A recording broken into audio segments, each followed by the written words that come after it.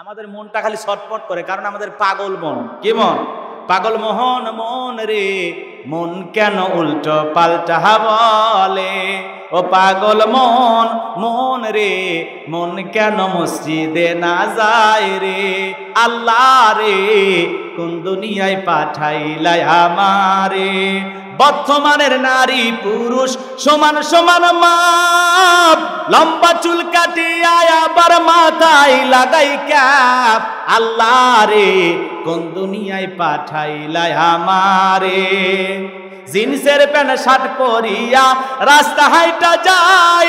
পুলানা মাইয়া ওইটা সিনা বড় দাই। আল্লাহ রে, কোন দুনিয়ায় পাঠাইলাই আমারে? কথা বলেন না কেন? জিন্সের প্যান্ট পরছে, শার্ট পরছে, কপালে এদিক খেয়াল টিপ পড়ছে কানে পড়ছে দুল। কাছে যা যদি বলেন, আবুল, কয় না, আমি বিলকিস। আছে না নাই? বখারি শরীফের স্পষ্ট হাদিস আল্লাহ রসুল বলেছেন, কোন পুরুষ যদি নারীর বেশ ধারণ করে, আর কোন নারী যদি পুরুষের বেশ ধারণ করে, আল্লাহর লানত তাদের উপরে কথা বলে, ঠিক এই জন্য পুরুষ এদিক করেন পুরুষ পুরুষের পোশাক পরবে যেটাতে পুরুষ বোঝা যায়, নারী নারীর পোশাক পরবে যেটাতে নারীতে বোঝা যায়। আর এর তো স্বাধীনতা পোশাকের থাকার পরেও বাংলাদেশে, এদিক খেয়াল করেন, ঢাকা শহরে যাবেন, মনে হয় আপনি লন্ডন, আমেরিকায় বসবাস করতেছেন। নারীদের আধুনিকতার নামে অশ্লীলতা অশ্লীলতার দিকে তারা ধাপিত হচ্ছে। ছেলে মোটর সাইকেল চালায় মোটর সাইকেল ভাড়া মারে, জানেন জানেন আপনারা? কথা কয় না কেন মোটর সাইকেল ভাড়া মারতেছে, মেয়ে মানুষ যায় চিনা নাই, জানা নাই। মোটর সাইকেলের ওপরে উঠা এমন কায়দায় চাপে ধরতেছে, মনে হয় এখন হুন্ডার ড্রাইভার আসামি। কথা কয় না কে? হ্যাঁ অথচ ওই হুন্ডালা ভাড়াটিয়া, সে হুন্ডা দিয়ে ভাড়া মারে তেল তুলে, কথা কর না কে? মেয়ে মানুষ আসছে একটু ভেনিটি ব্যাগ দিয়ে সাবধানে বসো। কিন্তু এমন কায়দায় চাপে ধরে, মনে হয় মোয়াকালী কাজী অফিস থেকে এই মাত্র বিয়ে করে আসছে। কথা কর না কে? এরকম কারবার সমাজে আছে না নাই? আর এই সমাজের এই কিছু নোংরা, অসভ্য মন মানসিকতার, ভাই ভাই, কথা বলিনি। নোংরা, অসভ্য মন মানসিকতার কিছু মেয়েরাই কিন্তু পোশাকের স্বাধীনতার নামে স্লোগান তোলে। কথা না কে? নারীর পোশাকের স্বাধীনতা আছে না নাই? আছে না নাই? পোশাকের স্বাধীনতা সেই যুগের পর থেকে যুগ ছিল। কিন্তু এখন কিছু ডিজিটাল মগামগির জন্ম হয়েছে। এদের মাথায় কিছু আছে কি না আল্লাহ ভালো জানে। ওরা বলে পোশাকের স্বাধীনতা চাই। স্বাধীনতার নামে কি? যেটুকু পরে আসো ওটুকু পড়তে চাচ্ছ না। উলুঙ্গু হয়ে যদি বসবাস করার এতই শখ হয়, ভিসা, পাসপোর্ট লাগাইয়া যেই দেশে উলঙ্গ মানুষ বসবাস করে, ওই দেশে চলে যাও। তোমার মতো মানুষের জন্য এই দেশে কুকুরও কাঁদবেন পোশাকের স্বাধীনতার নামে কি বলে? দাদি নানি ব্লাউজ ছাড়া শাড়ি পরেছিল, আমরাও পড়তে চাই। শোনেননি আপনারা? পর্দার ওয়াজ বলে শুনবেন একটু বলা লাগবে না? রাগ করতেছেন নাকি আপনারা? দাদি নানি ব্লাউজ ছাড়া শাড়ি পরেছিল ঘরের ভিতর। ওরা অভাবের কারণে পড়ুক দাদি নানি, আর গরমের কারণে পড়ুক দাদি নানু। ওরা কি নওগা বিশ্ব রোডে যা বলছে, এই, আমি তোর নানি, দেখ শাড়ি পরেছি। বলেছিল এ আমি তোর দাদি, দেখে যা শাড়ি পরেছি। তাহলে আমাদের দাদি নানি বারো হাত শাড়ি দিয়ে পুরো দেহটা ঢাকছে, ঘরের ভিতরে ছিল। ওরা বিশ্ব রোডে স্লোগান তোলে নাই। আর তুমি বোন, বারো হাত শাড়ি দিয়া এমন কায়দায় পিঠটা ফাঁকা রেখেছো, মনে হয় আর্জেন্টিনা আর ব্রাজিলের ম্যাচ হবে। কথা কর না বোঝেন না মনে হয়। রাগ করতেছেন? এরকম যারা অসভ্য, নোংরা মন মানসিকতা নিয়ে ওঠা বসা করে, এই সমস্ত মানুষেরা পোশাকের স্বাধীনতার নামে মডার্ন সাজতে চায়, গেঞ্জি পইরা, প্যান্ট পইরা, জিন্সের প্যান্ট পইরা রাস্তাঘাটে বেড়াইতে চায়। মনে রাখবেন, যারা সভ্য মা বাবার জন্ম দেওয়া সন্তান, এরা কোনোদিন অশ্লীলতার নামে নোংরামি করবে না। যেই ঘরে মুসলমানের দিকাল করেন যেই যুবক মুসলমান, যেই যুবতী মুসলমান, সে কোনোদিন আধুনিকতার নামে আল্লাহর বিধানকে বিধানগুলি দেখাইতে পারে। ইসলাম মানবা, সোজা হয়ে চলবা। ইসলাম মানবা, দুনিয়া আখেরাতে দামি হইবা। ইসলাম মাই মানা লাঞ্ছিত হইবা, অপমানিত হইবা, কথা বলেন ঠিক কিনা? এই জন্য ইসলাম নারীর সম্মান, মর্যাদা বাড়াইছে পর্দার মাধ্যমে, কথা বলে ঠিক কিনা? পর্দা হলো নারীর মর্যাদা সম্মান বাড়ায়। একটা ঢিলা ঢালা বোরকা পরা নারী যদি রাস্তা দিয়ে হেঁটে যায়, মনের অজান্তে শ্রদ্ধার সম্মানে মাথাটা নত হয়ে আসে, কথা বলে ঠিক কিনা? নারী নারী পর্দাতেই সুন্দর। নারী হলো এদিক খেয়াল করেন, নারী যদি তার ইজ্জত সতীত্ব, এগুলোর হেফাজত করতে চায়, পর্দার বিকল্প আর কিছুই নাই। পর্দাতেই নারীর সম্মান, মর্যাদা বাড়বে, ইনশা আল্লাহ। এটা বোঝা লাগবে। আর যারা আধুনিকতার নাম দিয়া নারী অধিকার নারীদের সমান অধিকার, পোশাকের স্বাধীনতার নামে স্লোগান দিয়া নারীদের রাস্তায় নামাতে চায়, বোঝা যায় ওদের মতলব খারাপ। কথা বলেন ঠিক কিনা? আল্লাহ সমাজের যুবক আর যুবতীদের হেদায়েত দান করুন, জোরে বলুন, আমিন। আরও জোরে বলুন, আমিন। পায়ের আমার নামাজ কত বড় গুরুত্বপূর্ণ একটা ইবাদত। এই জন্য সালাতের মধ্যে দাঁড়াইতে হবে। লিবিয়াতে ঘূর্ণিঝড় হয়ে গেছে বাজান। বিশাল ঘূর্ণিঝড়ে হাজার হাজার মানুষ মারা গেছে। ধ্বংসস্তূপের ভিতরে যারা উদ্ধার কর্মী কাজ করতেছে, আল্লাহর গোলামেরা উদ্ধার কর্মীরা এত বড় দুর্যোগপূর্ণ অবস্থার ভিতরেও নয় জন মানুষ দাঁড়ায়া আমার আল্লাহকে সিজদা দিতেছেন বলেন সোবাহান আল্লাহ এ বাজার লিবিয়ার ঘটনা বলতেছি, বর্তমানের ঘটনা বলতেছি। তাহলে চিন্তা করেন উদ্ধার কর্মীরা, এরকম একটা দুর্যোগপূর্ণ জায়গাতে এসে উদ্ধার কাজ করতেছে, যখন সলাতের সময় হয়ে গেছে। আমার ভাইরা লিবিয়ার এই উদ্ধার কর্মী মুসলমান ভাইরা আর কাল বিলম্ব করে নাই। তারা নামাজের মধ্যে দাঁড়িয়ে গিয়ে সলাত আদায় করেছেন, বলেন আল্লাহু আকবার। যে লিবিয়ার দিকে এই ঘূর্ণিঝড় কারণে বিশাল একটা ভয়ঙ্কর ঘূর্ণিঝড়ের কারণে শত শত মানুষের রাস্তার রাস্তার ভিতর লাশ বইতে আছে। লাশ থেকে দুর্গন্ধ ছড়াচ্ছে।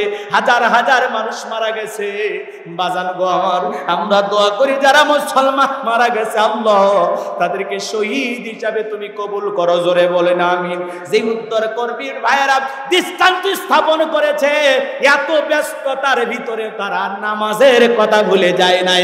কথা বলেন ঠিক কি না এই জন্য আজান হলে মমিনের জন্য নামাজ পড়ার দরকার আছে না নাই? তুমি দুনিয়ার তালবাহানায় কাজের দোহাই দিয়ে নামাজ থেকে বিরত থাকবে এমনটা হবে না। এই জন্য সলাতের প্রতি আপনার আমার মনোযোগ থাকা লাগবে, বাজান। যুবক রে, তোদের পায়ে হাত দিয়ে অনুরোধ করে বলে যায়, কোরআনের মাহফিল শুধু সাজাইলে হবে না। প্রত্যেকটা যুবককে বাইতুল মামুর জামে মসজিদে গিয়ে নামাজ আদায় করতে হবে। ও আপনাদের পায়ে হাত দিয়ে অনুরোধ করে বলে যায়, নামাজ কিন্তু কাজা করা যাবে না। যারা বিনয়ের সহিত বিনয়ের সহিত নম্রতার সহিত সলাত আদায় করে, মনোযোগ দিয়ে একটু বোঝার চেষ্টা করবেন, বাজান, আপনি আমি যখন মসজিদের ভিতরে সলাত আদায় করার জন্য প্রবেশ করব, বলেন তো বাজান, অন্তরের মধ্যে একমাত্র ভয় থাকতে হবে কার? আরও জোরে বলেন, কার? আমি আল্লাহকে ভয় করো। আপনি, আমি যখন মসজিদের ভিতরে সলাত আদায় করার জন্য দাঁড়িয়ে যাব, মনের ভিতরে সুচিন্তা, দুচিন্তা, বিবির কথা, সন্তানের কথা, দুনিয়াবি কোনো চিন্তা ভাবনা ব্যবসা ব্যবসা বাণিজ্যের কথা সব কিছু ভুলে গিয়ে আল্লাহ রব্বুল আলমিনের ভয় নিয়ে আল্লাহকে ভয় করে মসজিদে ঢুকতে হবে, কথা বলেন ঠিক কি না আপনি, আমি যখন সলাত আদায় করার জন্য নামাজের ভিতরে দাঁড়িয়ে যাব বাজার দুনিয়াবি কোনো চিন্তা মনের মধ্যে রাখা যাবে না। আপনার আমার অন্তরের ভিতরে একমাত্র আল্লাহর ভয় নিয়ে যদি সলাত আদায় করি, ওই নামাজ আল্লাহর দরবারে কবুল হবে, কথা বলেন ঠিক কি না কিন্তু নামাজের ভিতরে দাঁড়াইয়া দুনিয়াবি যদি নানান চিন্তা ভাবনা করি, আপনার আমার সলাদ কবুল হবে না। তাহলে মসজিদের ভিতরে যখন সলাৎ আদায় করার জন্য প্রবেশ করব, অন্তরের ভিতরে দুনিয়াবি কোনো চিন্তা রাখা যাবে বিবির কথা, সন্তানের কথা, ব্যবসা বাণিজ্যের কথা, দুনিয়ার কোনো কথা মনের মধ্যে রাখা যাবে না। সব কথা, সব টেনশন মসজিদের বাহিরে রেখে আল্লাহর ভয়ে আল্লাহর ভয়ে আল্লাহকে রাজি খুশি করার জন্য মসজিদে প্রবেশ করতে হবে। এদিকে এদিকে এদিকে, একটু মনোযোগ দেন, একটু মনোযোগ দেন। আপনি আমি যখন মসজিদে প্রবেশ করব, এদিক খেয়াল করেন এমন ভাবে সলাত আদায় করতে হবে, মনের ভিতরে এই খেয়াল নেয়া যে আমি সলাত আদায় করতেছি, আমার আল্লাহ আমাকে দেখতেছেন। একটু মনোযোগ দিয়ে শোনেন। আমার বাজারেরা আপনি, আমি যখন মসজিদের ভিতরে সলাত আদায় করব, মনে মনে এটা খেয়াল করব, আমি নামাজ আদায় করতেছি। আমার আল্লাহ আমার সামনে দাঁড়িয়ে আছেন, কথা বলেন ঠিক কিনা? কীভাবে সলাত আদায় করবেন? কেমন নামাজ পড়া দরকার? কীভাবে পড়া দরকার? সাহাবাই গ্রাম কীভাবে সলাত আদায় করেছেন? সামান্য দুই একটা কথা বলে দিয়ে যায়। সামনে অনেক কথা বলার আছে বা জানব আমার। বিশ্বনবীর সাহাবিরা কীভাবে সলাত আদায় করতেন? আপনার আমার নবী কীভাবে সলাত আদায় করতেন? জানার দরকার আছে না নাই?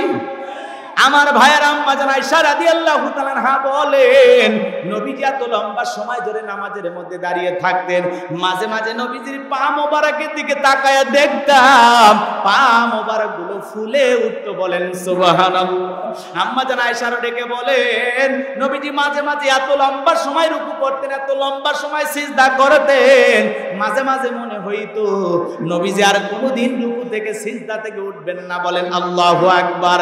আম্মা জান আয়েশা ডেকে বলেন, একদিন রাতের বেলায় দেখি নবীজি সিজদা দিয়ে এত কান্না করেছেন, কাঁদতে কাঁদতে বিছানা পর্যন্ত ভিজে গেছে।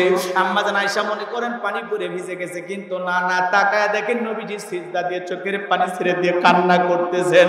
অনেকটা সময় অতিবাহিত হয়ে যাওয়ার পর রহমাতুলিল আলামিন মদিনার কামলেওয়ালা আপনার আমার প্রিয় নবী যখন সিজদা থেকে মাথাটা উঠাইছেন, আম্মা জান আয়েশা রাদিয়াল্লাহু তাআলা নবীজির চেহারা মোবারকের দিকে তাকায়া বলেন, নবী গো, এত কান্না কেন করেছেন? কাঁদতে কাঁদতে আপনার দাড়ি ভিজে গেছে, সিজদার জায়গা ভিজে গেছে, বিছানার চাদর পর্যন্ত ভিজে গেছে। নবী গো, এত কান্না কেন করলেন? কি হয়েছে আপনার? বিশ্ব নবী ডেকে বলে আয়সা আমি তো আমার জন্য কাঁদি না আমি কাঁদি আমার গুনাহগার উম্মতের জন্য। আল্লাহু আকবার। ও আয়েশা, আমি সিজদা দিয়ে আল্লাহর কাছে কেঁদে কেঁদে বলি, আল্লাহ, আমার গুনাহগার উম্মত, মালিক গো। আমার গুনাহগার উম্মতকে তুমি জাহান্নামের আগুনে পোড়ায় না। আমার গুনাহগার উম্মতের গুনাহগুলো তুমি মাফ করে দাও। আল্লাহর কাছে কেঁদে কেঁদে বিশ্বনবী, আপনার আমার গুনাহ মাফের আশায় দোয়া করতেন কার কাছে? তাহলে আপনার আমার গুনাহ মাফের আশায় সিজদা দিয়ে আল্লাহর কাছে কান্না করার দরকার আছে না নাই? এখানে কি এমন নামাজি পাওয়া যাবে। যেই নামাজি জীবনে এক দেড় দুই ঘণ্টা সিজদা দিয়ে চোখের পানি ছেড়ে দিয়া নিজের জীবনের গুণাগুলো আল্লাহর কাছে মাফ চাইছেন আর বলেছেন, আল্লাহ, এই গুণা করেছে, এই অপরাধ করেছে, আল্লাহ, তুমি আমার গুণাগুলো মাফ করে দাও। এক দেড় ঘণ্টা সিজদা দিয়া কোনোদিন কাঁদি নাই কাঁদি নাই। কাঁদার সময় আমাদের হয় না কারণ আমরা হলাম ডিজিটাল নামাজি। একটু পরে যাচ্ছি, এদিক খেয়াল করেন। সিজদা দিয়ে আপনার আমার জীবনের গুণাগুলো মাপ চেয়ে কাটতে হবে কার কাছে? তাহলে নবী যদি আপনার গুণা মাপের আশায় আল্লাহর কাছে প্রার্থনা করে, আল্লাহর কাছে দোয়া করেন, তাহলে আপনি আমি গুণা করছি কি করিনি? কথা কয় না কেন? বুকে হাত দিয়ে বলতে পারবেন যে, হুজুর, আমি নিষ্পাপ। একটা গুণাও করি নাই। জীবনে একটা মিথ্যা কথা বলি নাই। জীবনে এক তো নামাজ কাজা করি নাই। বলতে পারবেন? কত গুণা করেছি, চোখ বন্ধ করলে দেখা যায় আমার চরিত্র, হুম হুম হুম মতো পবিত্র। নাকি খা চোখটা বন্ধ করলে বোঝা যায়। আল্লাহ আমাদের হেদায়ত দান করুক, জোরে কোন আমি আরও জোরে বলে না আমি কষ্ট হচ্ছে, বাজান, দোয়া করে দিলে ভালো হয়। একটু মনোযোগ দেয় শোনা আমার ভাইরা যে কথা বলতে চাচ্ছিলাম, বিশ্বনবীর কীভাবে সিজদা দিয়ে চোখের পানি ছেড়ে দিয়ে আপনারা আমার জন্য দোয়া করতেন? যেই নবীর জীবনে গুণা নাই, সেই নবী দিনের মধ্যে সত্তর বারো বেশি ইস্তেকফার করতেন। আপনাকে আমাকে গুনাহ মাফের আশা আল্লাহর কাছে দোয়া করতেন আর বলতেন, আল্লাহ, আমার গুনাহগার উম্মতকে তুমি জাহান্নামের আগুনে দিও না। কারণ নবী নিজের চোখে জাহান্নাম দেখেছেন, কথা বলেন ঠিক কি না ওই জাহান্নাম বড় কঠিন জায়গা। ইন্না জাহান্নামা কানাত মিরু মিরসাদা লিত্তাকিনা মাবা লাবিসিনা ফিহা আহকা।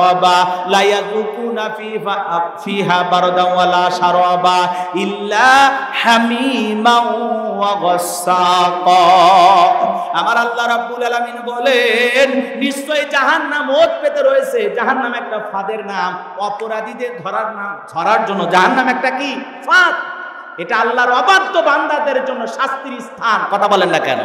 ভালো করে বোঝেন। আল্লাহ বলেন, ইন্না জাহান্নামা কানাত মির সদা নিশ্চয়ই জাহান্নাম ওত পেতে রয়েছে। আল্লাহর অবাধ্য বান্দাদের ধরার জন্য, পাখি ধরার জন্য যেমন ফাঁদ পাতা হয়, শিকারী ধরার জন্য যেমন ফাঁদ পাতা হয়, যারা গুণাকার না ফরমান আল্লাহর অবাধ্য গোলাম, তাদের জন্য জাহান্নাম ওত পেতে রয়েছে। ওই জাহান্নাম বড় কঠিন জায়গা। এটা হলো অপরাধীদের থাকার আবাসস্থল। ওই জাহান্নামের আগুনে যারা একবারে জ্বলবে ওই জাহান নামের আগুনে জ্বলতে জ্বলতে, পড়তে পড়তে দেহটা কয়লার মতো কালো হয়ে যাবে। জাহান নামের চিৎকার মেরে আল্লাহর কাছে বলবে, আল্লাহ আমরা বড় ওই জাহান নামের আগুনে জ্বলতে জ্বলতে জাহান নামের হয়ে যখন আল্লাহর কাছে খাবার প্রার্থনা করবে, আল্লাহ আমাদের খাইতে দাও খাইতে দাও খাইতে দাও। যেই জাহান নামের আগুন ভীষণ যন্ত্রণার জায়গা, এ বাজার আমার। একবার যদি কারও দেহে জাহান নামের আগুন লাইগা যায়। পা থেকে মাথা পর্যন্ত যন্ত্রণা শুরু হবে। কলিজাটা পুরো ছাই হয়ে যাবে। ওই জাহান্নামীর আগুনের যন্ত্রণা সহ্য করা সম্ভব নয়, বাজানো সম্ভব নয়। যে জাহান্নামীর এক ইঞ্চি জায়গা ফাঁকা নাই, যার মধ্যে আগুন নাই। হজরত আবু হুরাইরা বলেন, আল্লাহ পাক, ওই জাহান্নামের আগুনকে এক হাজার বছর জ্বালায়া, জাহান্নামের আগুনের কালার হয়েছিল সাদা। আবার এক হাজার বছর জ্বালায়া, জাহান্নামের আগুনের কালার হয়েছিল লাল বর্ণ। আবার এক হাজার বছর জ্বালায়া জাহান্নামের আগুনের কালার হয়েছে কৃষ্ণ বরণ অন্ধকার রাত্রির মতো কালো। ওই একবার যদি কারও দেহে জাহান্নামের আগুন লাইগা যায়, দুনিয়ার আগুনের চাইতে জাহান্নামের আগুনের পাওয়ার স্পিরিট হলো সত্তর গুণ বেশি। আল্লাহ না করুক, আল্লাহ না করুক, যারা গুণাগার তাদের অপরাধের কারণে। একবার যদি জাহান্নামের আগুনে যায়, ওই যন্ত্রণার কথা বলে শেষ করা যাবে না রে বাজান। লম্বা হবে জাহান্নাম নিয়ে আলোচনা করলে তিন চার দিনও বয়ান শেষ করা যাবে না। সামান্য একটু উদাহরণ দিয়ে কথাগুলো আমি শেষ করে দেব, একটু মনোযোগ দেয়া শোনেন। ওই জাহান্নামীরা জাহান্নামের আগুনে জ্বলতে পড়তে পড়তে চেহারা যখন মতো কালো হয়ে যাবে বাজার, আল্লাহর কাছে কেঁদে কেঁদে বলবে, আল্লাহ, খাবার দাও খাবার দাও খাবার দাও। আমার আল্লাহ ফেরেস্তাদেরকে বলবে, যাও তলদেশে এক ধরনের ফলের চাষ করা হবে। ওই ফলের নাম হবে কাঁটাযুক্ত ফল। ওই ফলটা যখন জাহান্নামের ফেরেস্তারা জাহান্নামী অপরাধীদের হাতে পরিবেশন করবে, খাদ্য হিসাবে পাওয়া মাত্রই ফল তারা গলার ভিতরে দেবে।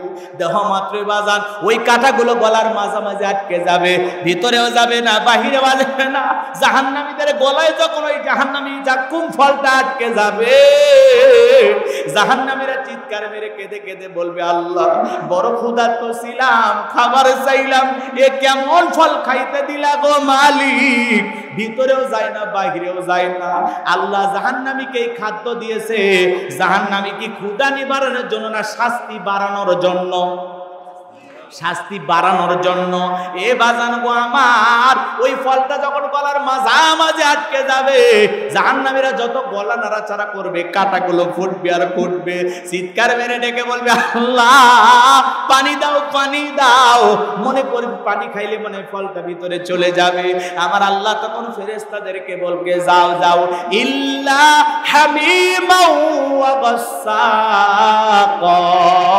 তারা যখন পানি প্রার্থনা করবে আল্লাহ তাদেরকে ঠান্ডা পানি দেবে না, কি পানি দেবে জানেন? ইল্লা হামিমা ওয়া আমার আল্লাহ বলেন, এমন উত্তপ্ত, গরম, ফুটান্ত পানি দেওয়া হবে যা পুষ ব্যতীত কিছুই নয়। ওই পানি যখন জাহান্নামীরা পান করবে বাজান, পান করা মাত্র জাহান্নামীদের লারি ভুড়ি গুলো পচে গলে গলে পায়খানা রাস্তা দিয়ে বেড়ে হয়ে যায়। জোরে বলেন না, নাউজুবিল্লাহ। ওই পানিটা যখন জাহান্নামীরা পান করবে, শরীরের বস্তুগুলো খসে খসে পড়ে যাবে। ওই জাহান্নামের আজাব আমরা সহ্য করতে পারব না। এই জন্য আল্লাহর কাছে বলা লাগবে, রব্বানা ফিদ দুনিয়া হাসানাতাও ওয়া ফিল আখিরাতি হাসানাতাও ওয়া কিনা আযাবান এত মনোযোগ কাঁধে পাখি পইরা আছে তারপরে ও টের পাইতো না বলেন। কীভাবে সলাত আদায় করতেন তাহলে চিন্তা করেন বাজান। আর আর আপনার আমার দেহের ভিতরে একটা মশা বলে এই হাতে কথা কয় না গা? আগে মশা মার, তারপরে সুরা ধর। কথা কয় না আবার যদি দাঁড়িয়ে থাকে, পায়ে যদি মশার কামড় মারে, এক ঠ্যাং আর এক ঠ্যাংয়ের উপর তুলে দেয়, কয় খাবু খা। ও খালি নামাজে আছে, তাহলে না হলে তো মেরে মার্ডার করলে আমি কথা কন মানে মশার ওপর নামাজ পড়তে এত খেতে তো সাহস পাও কথা কয় না কেন? আমার বাড়ি এলি সিমটি পারলে আমি সহ্য করি না। আর তুই আমার কামড় বাইরে রক্ত খাইতেছিস? কথা কয় না মানে নামাজের ভিতরে তারা বিরক্ত দুই একটা মশা কামড় মারলে। আর সাহাবা ইকরাম পাখি পরে থাকে তারপরে টের পাইতো না। কথা বলে ঠিক কিনা? ঘটনা অনেক অনেক নামাজে দাঁড়িয়ে গেছেন এক সাহাবি। তীর ঢুকে গেছে। তারপরে সলা শেষ করতে চায় না সোভান বলেন। ওই ঘটনাগুলো বলতে গেলে অনেক লম্বা হবে। হজরতে তালহা রাদি আল্লাহ সলাত আদায় করতেছেন টুকরা সন্তান খেলা করতেছেন বিষাক্ত সাপ আইসা জঙ্গল থেকে সন্তানকে পেঁচে ধরেছে স্ত্রী মানুষজনকে ডাকলেন সন্তানকে বিপদ মুক্ত করলেন। হজরতে তালহা নামার শেষে জিজ্ঞাসা করে বিবির বাড়িতে এত মানুষজন কেন বুঝতে পারলাম না? ডেকে বলে স্বামী আপনি যখন সলাত আদায় করতেছেন আপনার চোখের সামনে সন্তানরা খেলাধুলা করতেছিল। জঙ্গল থেকে সাপ এসে সন্তানকে বেঁচিয়ে ধরেছে। আমি মানুষজনকে ডেকে সন্তানকে বিপদ মুক্ত করলাম। এত ঘটনা আপনার চোখের সামনে ঘটে গেল। ও স্বামী, আপনি কি একটু টের পান নাই হজরতে তালহা রাদি আল্লাহ বলতেছেন, বিবি রে, নামাজের ভিতরে মনটা যদি এদিক সেদিক চলে যায়, তাহলে নামাজ তো আর নামাজ থাকে না। আল্লাহ আকবার।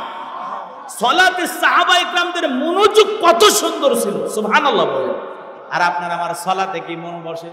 কথা কটাকে নামাজ পড়ে নৌকা বাজারে, মন চলে যায় ভারতের বর্ডারে।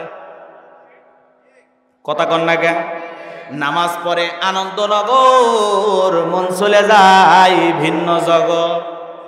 আছে না নাই?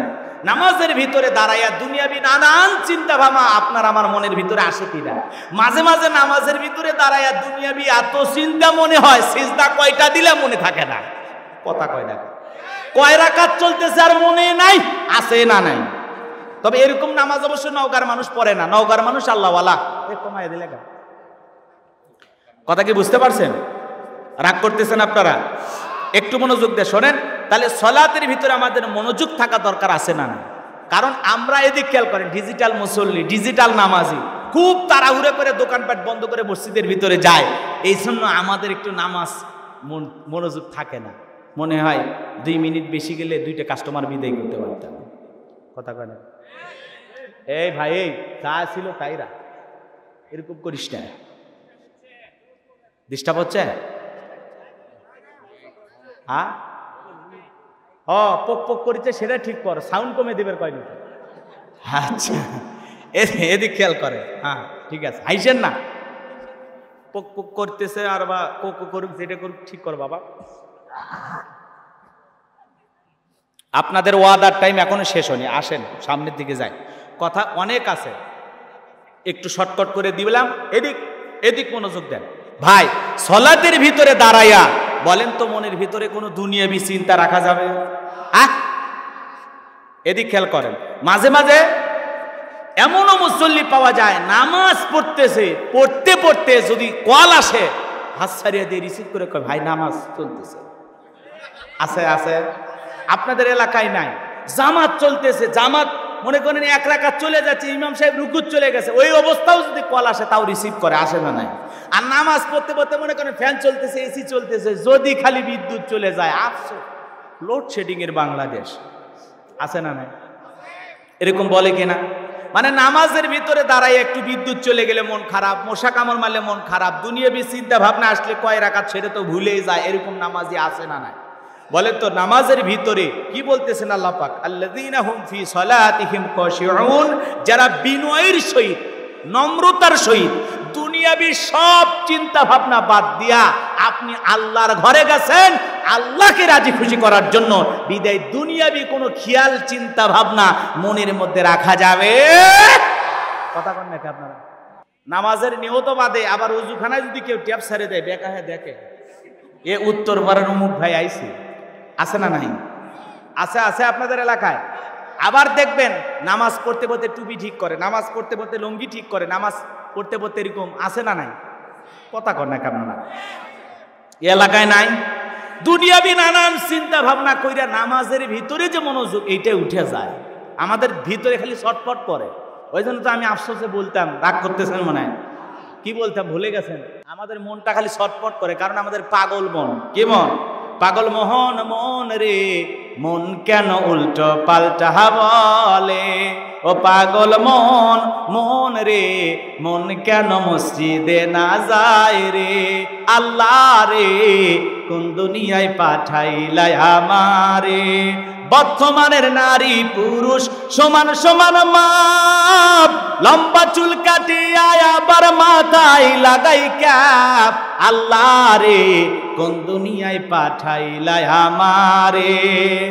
জিন্সের প্যান্ট, শার্ট পরিয়া রাস্তা হাইটা যাই, পুলানা মাইয়া ওইটা সিনা বড় দাই আল্লাহ রে, কোন দুনিয়ায় পাঠাইলাই আমারে। কথা বলেন না কেন?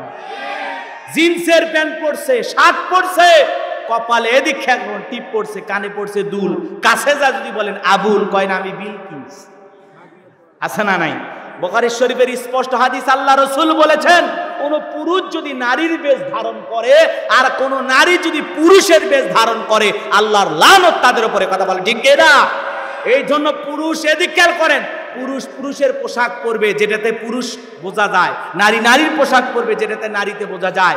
আর এর তো স্বাধীনতা পোশাকের থাকার পরেও বাংলাদেশে, এদিক খেয়াল করেন, ঢাকা শহরে যাবেন, মনে হয় আপনি লন্ডন, আমেরিকায় বসবাস করতেছেন, নারীদের আধুনিকতার নামে অশ্লীলতা অশ্লীলতার দিকে তারা ধাপিত হচ্ছে। ছেলে মোটর সাইকেল চালায় মোটর সাইকেল ভাড়া মারে। জানেন জানেন আপনারা? কথা কয় না কেন? মোটর সাইকেল ভাড়া মারতেছে, মেয়ে মানুষ যায়, চিনা নাই, জানা নাই মোটর সাইকেলের ওপরে উঠা, এমন কায়দায় চাপে ধরতেছে, মনে হয় এখন হুন্ডার ড্রাইভার আসামি কথা কয় না কেন? হ্যাঁ? অথচ ওই হুন্ডালা ভাড়াটিয়া, সে হুন্ডা দিয়ে ভাড়া মারে, তেল তুলে। কথা কর না কেন? মেয়ে মানুষ আসছে, একটু ভেনিটি ব্যাগ দিয়ে সাবধানে বসো। কিন্তু এমন কায়দায় চাপে ধরে, মনে হয় মোয়াকালী কাজী অফিস থেকে এই মাত্র বিয়ে করে আসছে। কথা কর না এরকম কারবার সমাজে আছে না নাই? আর এই সমাজের এই কিছু নোংরা, অসভ্য মন মানসিকতা ভাই ভাই, কথা বলিনি নোংরা, অসভ্য মন মানসিকতার কিছু মেয়েরাই কিন্তু পোশাকের স্বাধীনতার নামে স্লোগান তোলে। কথা কর না কে? নারীর পোশাকের স্বাধীনতা আছে না নাই? আছে না নাই? পোশাকের স্বাধীনতা সেই যুগের পর থেকে যুগ ছিল। কিন্তু এখন কিছু ডিজিটাল মগামগির জন্ম হয়েছে। এদের মাথায় কিছু আছে কি না আল্লাহ ভালো জানে। ওরা বলে পোশাকের স্বাধীনতা চাই। স্বাধীনতার নামে কি? যেটুকু পরে আসো ওটুকু পড়তে চাচ্ছ না? উলুঙ্গ হয়ে যদি বসবাস করার এতই শখ হয়, ভিসা, পাসপোর্ট লাগাইয়া যেই দেশে উলঙ্গ মানুষ বসবাস করে, ওই দেশে চলে যাও। তোমার মতো মানুষের জন্য এই দেশে কুকুরও কাঁদবে না। পোশাকের স্বাধীনতার নামে কি বলে? ভাই দাদি নানি ব্লাউজ ছাড়া শাড়ি পরেছিল, আমরাও পড়তে চাই। শোনেননি আপনারা? পর্দার ওয়াজ বলে শুনবেন তো, একটু বলা লাগবে না? রাগ করতেছেন নাকি আপনারা? দাদি নানি ব্লাউজ ছাড়া শাড়ি পরেছিল ঘরের ভিতর। ওরা অভাবের কারণে পড়ুক দাদি নানি, আর গরমের কারণে পড়ুক দাদি নানি। ওরা কি নগা বিশ্ব রোডে যা বলছে, এই, আমি তোর নানি, দেখ শাড়ি পরেছি।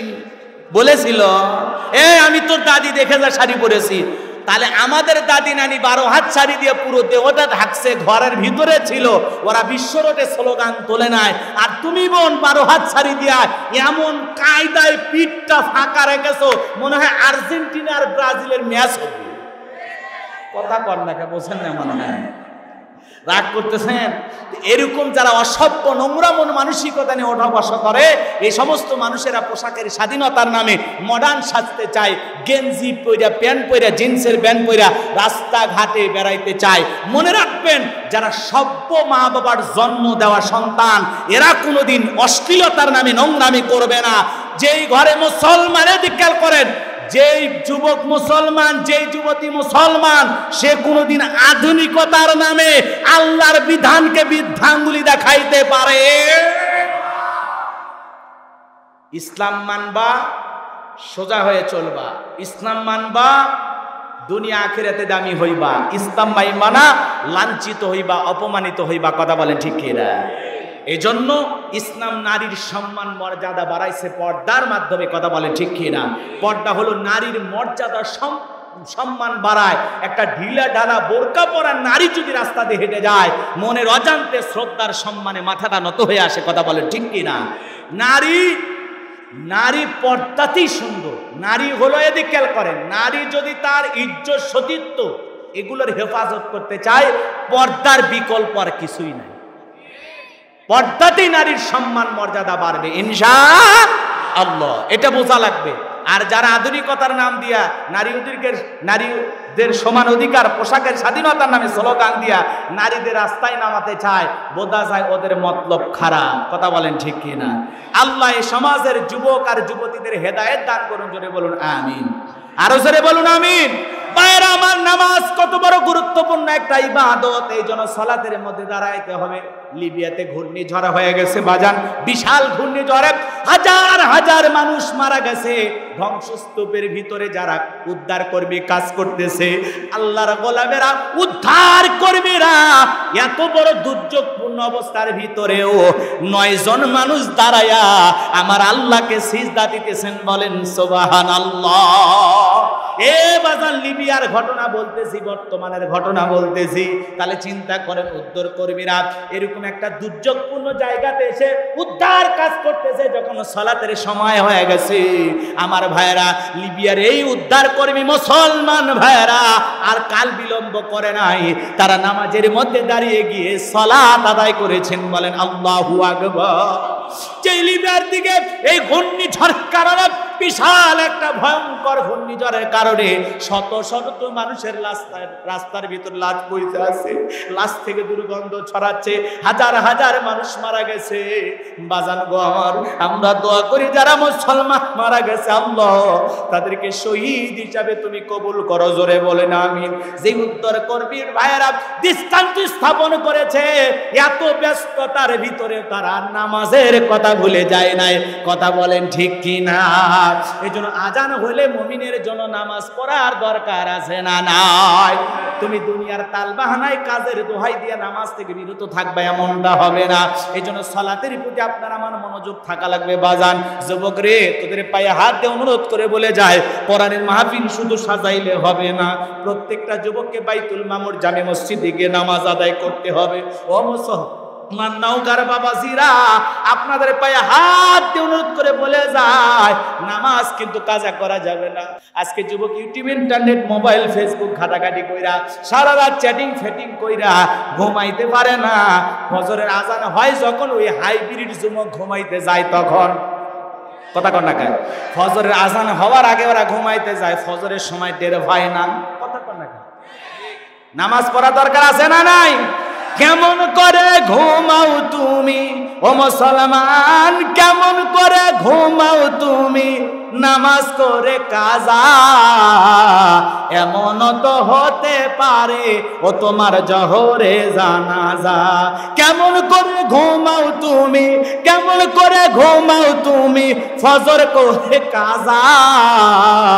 এমন তো হতে পারে, ও তোমার জহরে জানাজা। এমন তো হতে পারে, ও তোমার জহরে জানাজা। এজন্য মুসলমান হিসাবে পাঁচ সালাত, মসজিদে গিয়ে কারা কারা সিজদা দিয়ে আদায় করবেন দুহাত তুলে আমার আল্লাহকে একবার দেখান। আল্লাহ গো, আমাদের সবাইকে পাঁচ নামাজ হিসেবে কবুল করুন, জোরে বলুন, আমিন। আরও জোরে বলুন, আমিন। শুধু একা নামাজ পড়বেন না সন্তানটাকে নিয়ে যাবেন। পৃথিবীর সকল বাবা তারা যে নিজের কলিজার টুকরা সন্তানকে মসজিদে নিয়ে যেতে পেরেছে, কথা বলেন ঠিক কিনা? এজন্য বাবা হিসাবে একা নামাজ পড়বেন না। কলিজার টুকরা ছেলেকে মসজিদে নিয়ে যাবেন। বিবিকে বলবেন, সোনা বউ, তোরে আমি জান্নাতে চাই দুনিয়ার বউ হয়ে থাকলে হবে না।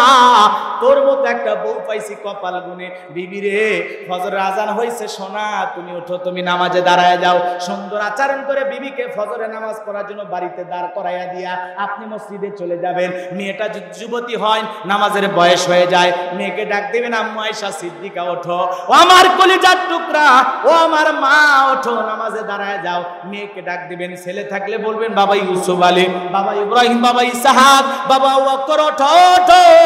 ফজরের নামাজ আজান হয়ে গেছে, বাপ বেটা মিলে নামাজে যায়। জহরের আজান হয়ে গেছে, বাপ বেটা মিলে নামাজে যায়।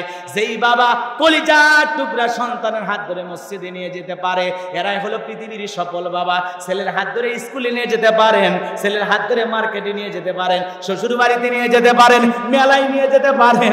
আপনি মুসলমান হিসাবে আল্লাহর ঘরেও নিয়ে যাওয়া দরকার আছে না না? কথা কি বোঝেন বোঝেন? রাগ করতেছেন মনে হয়? বাজার নামাজের কথা যদি আমি বলি, দুই, তিন দিন ওয়াজ করে শেষ হবে না। নামাজ খুবই গুরুত্বপূর্ণ ইবাদত।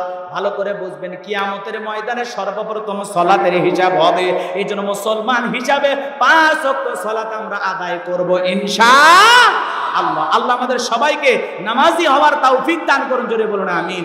আরে আল্লাহ আমার এদিকে করেন, আল্লাহ আমার রব। আমি আল্লাহর গোলাম। যখন সিজদায় মাথাটা নত করি এই সময় যে ভালো লাগা কাজ করে, একজন মমিনের পরিপূর্ণ পাওয়া সিজদার ভিতরে।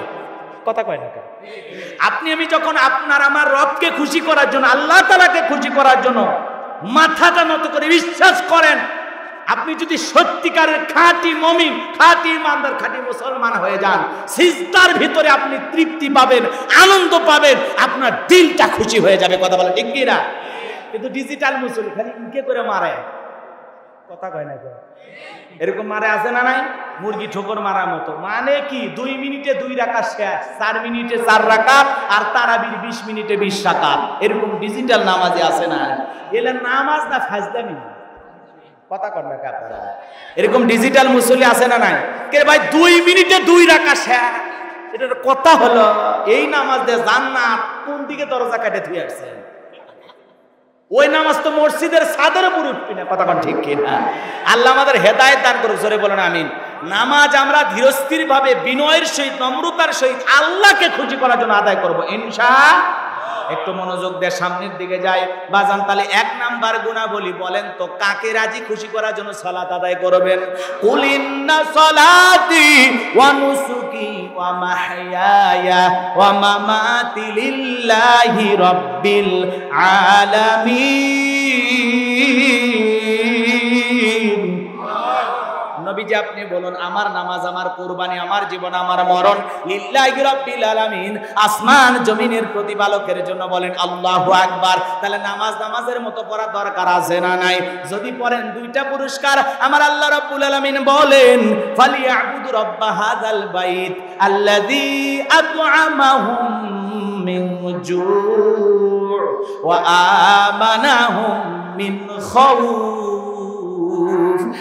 আকবার। আল্লাহ রাব্বুল আলামিন বলেন এই ঘরের মালিকের ইবাদত করো। ভালো করে শোনেন। আল্লাহ বলেন, এই ঘরের মালিকের ইবাদত করো। ইবাদত যদি ইবাদতের মতো করতে পারো বান্দারে, রুকু যদি রুকুর মতো হয়, সিজদাটা যদি সিজদার মতো হয়, নামাজ যদি নামাজের মতো আদায় করতে পারো। আমি আল্লাহ তোমাদের দুইটা জিনিস দেব। এক নাম্বার, তোমার রিজেকের কোনো টেনশন থাকবে না। আমি আল্লাহ রিজেকের ব্যবস্থা করব। যে বান্দা পাঁচ ওয়াক্ত সালাতে মাথা নত করবে আল্লাহর কাছে, আল্লাহ তারে না খাওয়ায়া রাখবে না। আল্লাহ তার জন্য উত্তম রিজেকের ব্যবস্থা করবেন। বলুন, সুবহানাল্লাহ।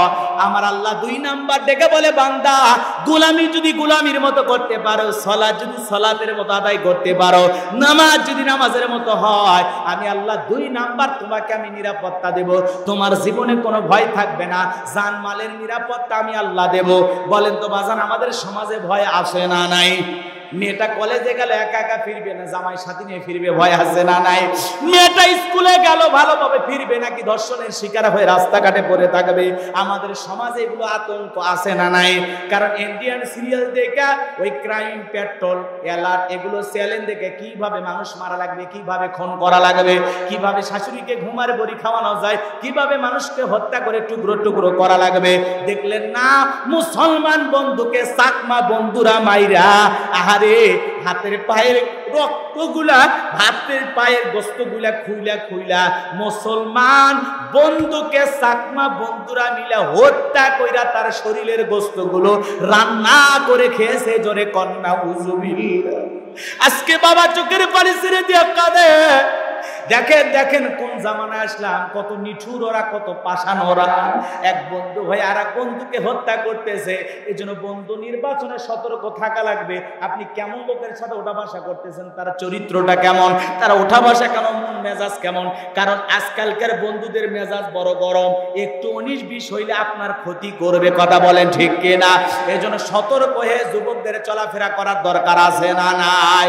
আজকে সমাজে অপরাধ বাড়ার পিছনে কারণ একটাই আল্লাহর আইন দিয়ে সমাজে বিচার করা হয় না। আজকে ধর্ষণ বলেন, হত্যা বলেন, দুর্নীতি বলেন, চুরি বলেন, ডাকাতি বলেন, এগুলো বৃদ্ধি পাওয়ার একমাত্র কারণ আল্লাহর জমিনে আল্লাহর আইন নাই। কথা কন না সবার চোখ ফাঁকি দিয়ে এগারো বছরের মুকসিদপুরের গোপালগঞ্জের এক পিচ্ছি বালক বিমান উঠে বসে আছে। কথা কয় না আমার তো আমার তো মনে হয় এই ছেলেটার একটু ঘুরিয়ে নিয়ে আসা দরকার ছিল। কথা কয় না এত সিকিউরিটি এত নিরাপত্তা, এত সিসি ক্যামেরা সব চোখ ফাঁকি দিয়া ছেলেটা বিমানে চড়ার সব কি সুন্দর, সহজ, সরল ভাষায় কথা বলতেছে। কই থেকে কই গেছে, কই থেকে কই গেছে? আহ, কি চমৎকার। বলা ভালা ছেলেটা, খুবই ভালো, কথা কয় না এই ছেলেটা বিমানে বৈশা আছে। এখন যখন সিট চেক করা হচ্ছে বোর্ডিং চেক করা হচ্ছে এগুলোতে যায় ছেলেটা এক ঘণ্টা বিমানে বসেছিল কথা কয় না খায়। ওর শখ ছিল আমি বিমানে চড়বো। আমার তো মনে হয় দিলটা একটু বড় ছিল। এই জন্য এত গাছ এত নিরাপত্তা এত সিসি ক্যামেরা এত চেক সব কিছু ফাঁকি দিয়ে ছেলেটা বিমানে চড়ে যদি বসে থাকতে পারে তাহলে ওই যে সোনাগুলো কথা কয়। আমি কি খুব বেশি বলব? আপনারা তো বোঝেন বোঝেন না? অল্প বলা লাগবে, বেশি বললে আমার আমাদের সমস্যা, বোঝেন না? এই জন্য মাঝে মাঝে কয়েক কেজি কয়েক কেজি করে যে জমাইছিল, আহারে, কই যে গেল? কথা এই ছেলে যদি এতগুলো মানুষের চোখ ফাঁকি দিয়ে বিমানে উঠে সিট দখল করে বসে থাকতে পারে? তাহলে এই যে স্বর্ণের চোরাচালান, এই যে বিভিন্ন কিছু আমরা শুনি, এগুলো সম্ভব কথা কর না কেন? এগুলো বন্ধ করতে পারবেন, তখন আল্লাহর আইন দিয়ে সমাজ পরিচালনা করলে এগুলো দুর্নীতি থাকবে। হ্যাঁ রেখে দেওয়া স্বর্ণ কোনোদিন হারিয়ে যাবেন আমানত দারিতা রক্ষা করবে মৃত্যু পর্যন্ত। কথা বলে ঠিক কিনা? চলে সামনের দিকে যে কত কথা যে বলতে মনে চায়, এক রাতে কি এত বলা যাবে। আল্লাহ আমাদের কবুল করেন। জোরে বলেন, আমিন। তাহলে এদিক খেয়াল করেন, বাজান লম্বা হবে, লম্বা করব না। আমি সর্বশেষ যে কথা বলতে চাচ্ছিলাম, আমরা সবাই নামাজি হব, ইনশা